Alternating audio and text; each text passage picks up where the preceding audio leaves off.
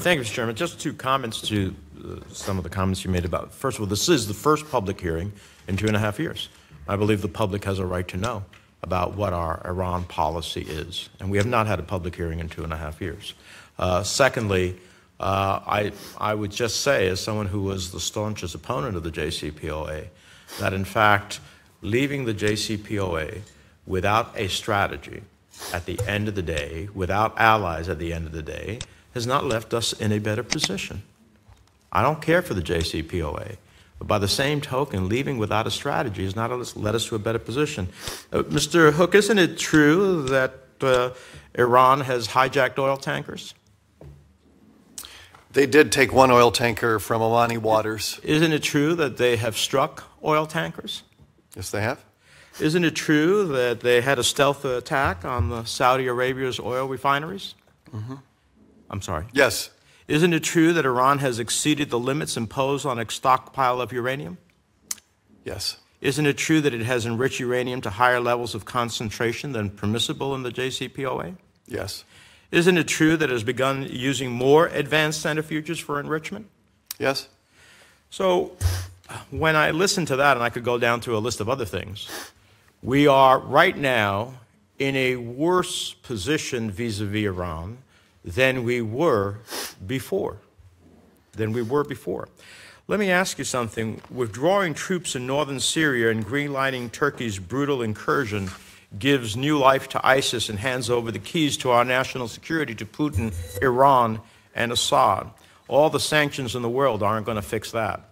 Does the administration have a plan for countering Iran in Syria and if so, can you explain what it is and how will, it will account for recent gains by Iran backed pro regime forces that are filling the vacuum that we created in northern Syria? Can I? I'd like to answer your first question, and I'll take the, the next one. Um, I didn't pose the first question. I posed a question as it relates to this. So would you answer that one? Can I comment on your first question? If I get enough time, but first let me answer my question. Um, the, the president's decision with respect to Syria uh, is not going to change our Iran strategy or the efficacy of it. Uh, and so we are, um, uh, Iran has given Assad $4.6 billion in lines of credit and billions more. Um, they have sent 2,500 of their own Quds Force fighters, and they have helped mobilize 10,000 Shia fighters uh, to support Assad. Um, our, our, our, diplomatic work that Ambassador Jeffrey is heading is to, is to ensure, as part of a political solution, that all of the forces uh, in Iran under Iranian control have to leave Syria. And we are withholding our reconstruction assistance for Syria as one of the levers that we have. And, and, and you really think that after having withdrawn and, and let uh, the Iranians, uh, what we have here is something that we, by our presence, helped avoid. We have the possibility of a land bridge that Iran has sought over Syria to attack our ally, the State of Israel.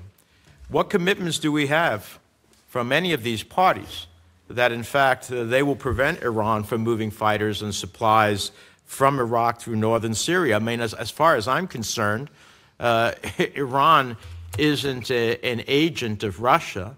They have their own interests. They have spent their own blood. Russia's not going to tell them, okay, Iran, now thank you for your help. It's time to get out. They're going to have their own interests.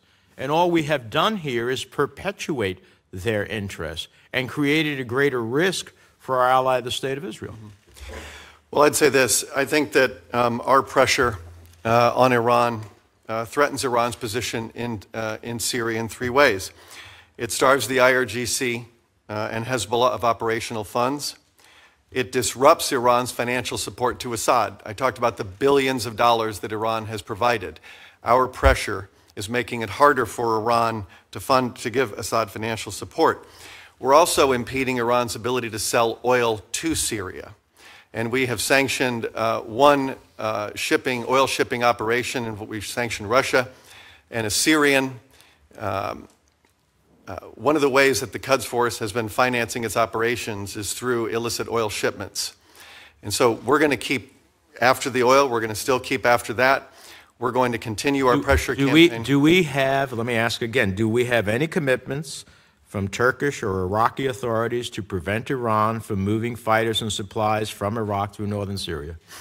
That is something I've been with the Secretary to Iraq. We discuss that on a very regular basis to do everything But we have no commitments. to- commitments. We have no commitments.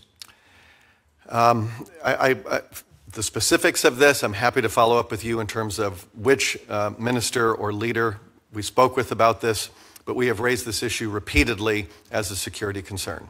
Well, it seems to me that here's, here's a perfect example of what maximum pressure without a strategy that ultimately brings Iran to the negotiating table leaves us in. More attacks, more consequences, greater breakout, uh, limiting the breakout time to uh, the possibility of a pathway to nuclear weapons, uh, a land bridge, uh, in addition to the president's decisions to withdraw precipitously out of Syria, a land bridge for Iran to attack our ally, the State of Israel. If that is success, if that is your measurement of success, then I, I, I have a real concern of where we're headed. Thank you. Uh, just two quick things on that. One, um, when the president got out of the Iran deal, Secretary Pompeo released our Iran strategy within a week or two. We did exit the deal with the strategy. And the, and the secretary put in place the v- very clear articulation of the 12 areas where we need to see a change in Iranian behavior. So that speech that he gave in May of 2018 is the same policy that we're pursuing. Well, that's a wish list. I'd not a like- I agree list. with the wish list. It's not a wish but list. That, eh, I, you think you're going to get everything that Pompeo listed. You're going to give virtually no relief to Iran, and they're just going to succumb. No, that's Well, I'd like to believe that's the real world. Well, I- I- that's not the real world, Mr. Hook. Well, so here is not the, re- real world. Here is the real world. Um, we don't negotiate with ourselves, and the 12 uh, areas requirements are a mirror image of Iran's threats to peace and security. And most of those 12 you can find in a UN Security Council resolution. Do you that was believe that the more you ask for, the more you Council. have to Senator, give? Senator, allow him to finish his. Well, he's taken up my time. He's gone beyond my time. time's already. over. I saw the chairman went beyond his time as well. So The other thing that I would, th- th- there is, I've heard this sort of, I, I, I've heard it often said that, that there was this, that during the Iran nuclear deal, Iran was behaving. And since we got out of the deal, things have gotten worse. And I'd like to, Mr. Chairman, submit for the record, this is a, this is 71 items of, of Iran regime malign activities during negotiations with Iran and during the JCPOA. It is 71 items long.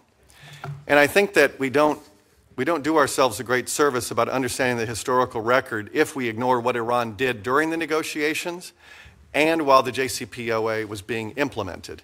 So I'd like to submit this for the record so that people can review everything Iran was up to while we were in the deal. Thank you, and that will be submitted for the record. And Senator Menendez, I'll give you the last word. Well, I just let me ask you just a simple question.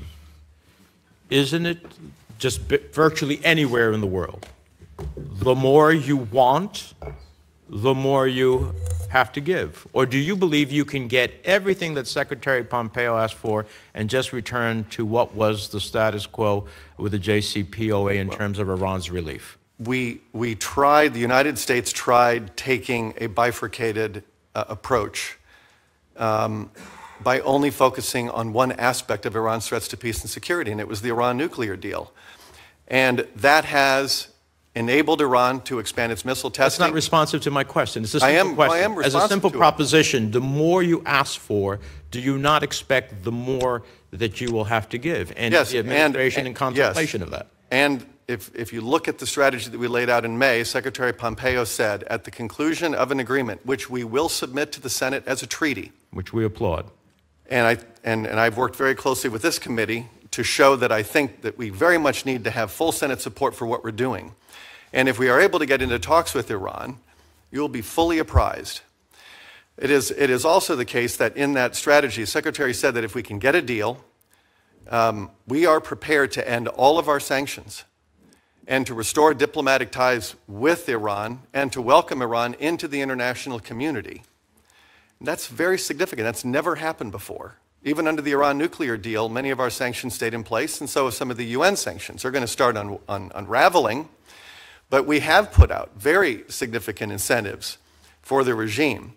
And the, and the decision they face is whether they're going to come to the table and recognize that they are in, they're, they're, it's deepening isolation come to the United States, come with the United States to the table and other countries to negotiate a full and comprehensive deal.